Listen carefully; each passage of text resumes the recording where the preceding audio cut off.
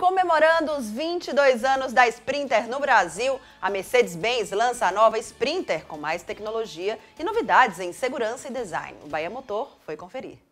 Além de algumas mudanças no design da linha 2017 da Sprinter, alguns itens de segurança também sofreram alterações. Agora, principalmente no item conforto, mudou muito. O banco mais confortável, mais largo, mais alto, um encosto de cabeça e olha, os passageiros vão adorar, viu?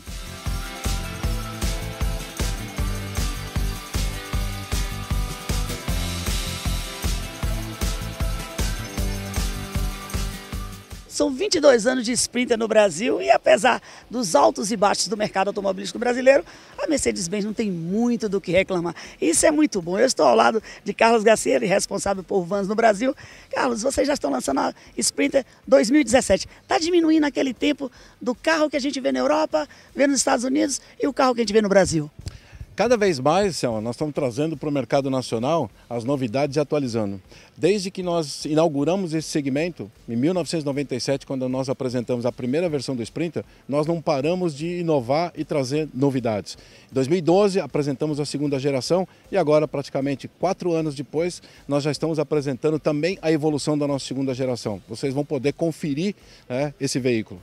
E as grandes novidades estão na parte externa, vocês fizeram uma mudança na frente do veículo, internamente em conforto e principalmente em segurança. Vamos detalhar um pouquinho cada coisinha dessa? Externamente, o que é que mudou? Ficou com um design muito mais moderno, então mais agressivo. Nós fizemos é, modificações de capô, grade, para-choque, para que você possa ter um veículo mais envolvente e falando basicamente a mesma linguagem hoje que nós temos no Vito. Quando você olhar para esse carro, você vai saber, não que você não soubesse antes, mas nós estamos comunicando toda a linha, então você vai ver uma linha crescente, tanto do Vito para o Sprinter, todos eles entrando numa nova linguagem, trazendo modernidade e um estilo mais arrojado também para o segmento. Um DNA Mercedes-Benz. Com certeza, isso nunca pode faltar, principalmente no Sprinter. Né?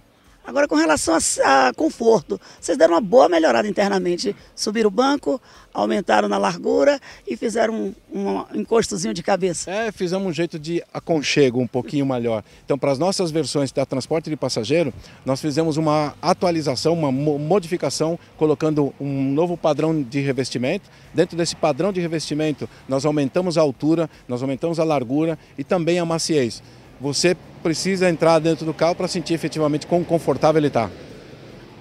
Em termos de segurança, o básico que me deixou realmente muito impactada é que vocês trouxeram agora para eles o assistente de ventos laterais, o que tem no Vito. Correto. Ah, no ano passado, em novembro, quando nós estivemos juntos, você também nos deu o prazer de brindar de apresentar o Vitor. Nós trouxemos uma novidade para o segmento e agora nós estamos incorporando essa função também na nova linha Sprinter. A segurança, a gente sempre coloca a parte de tecnologia em favor de segurança. Então, quando eu falo também do crosswind, é, acho que vale um pouco detalhar o que, que é esse crosswind. O crosswind, ou assistente de vento lateral, ele é muito importante quando você está numa aplicação rodoviária.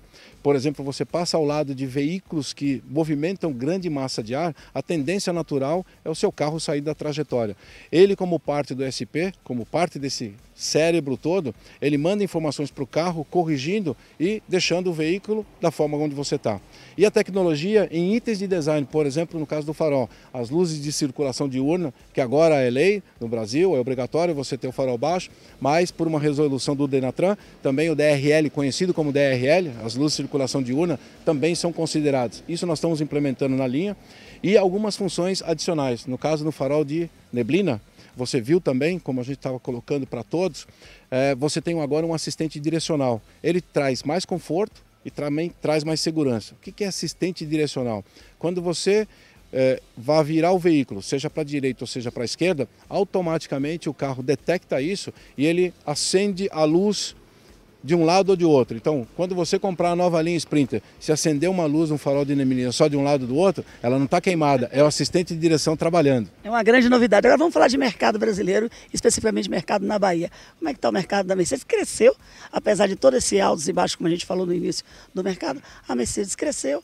E na Bahia, como anda? Nós vemos crescendo em nível nacional de maneira é, extremamente consistente. Né? Nós saímos de uma participação de 14% em 2011 e chegamos agora no final de julho em 26,3%. caso específico da Bahia, é, nós é um dos mercados onde nós estamos acima dessa média nacional. É, trabalhamos aí numa referência de quase 30%, 35% dentro do mercado, dependendo do, do modo de atuação. Como um, uma vocação turística muito forte, duvido que você chegue na Bahia, em Salvador, e não vai encontrar com um Sprinter lá. O novo Sprinter 2017 já está nas concessionárias. Qual é a expectativa de vendas que vocês estão pensando? O que nós estamos colocando é, hoje a gente já está com 26%, 26,3% de participação no mercado. Nós queremos manter essa participação. Onde a gente chegou, esse é o novo patamar. Então, depende muito de como o mercado vai se comportar. Lógico que, de uma forma geral, ninguém está imune à crise. Como eu já comentei, o bolo diminuiu, mas nós estamos cuidando para que a nossa fatia cada, fique cada vez maior.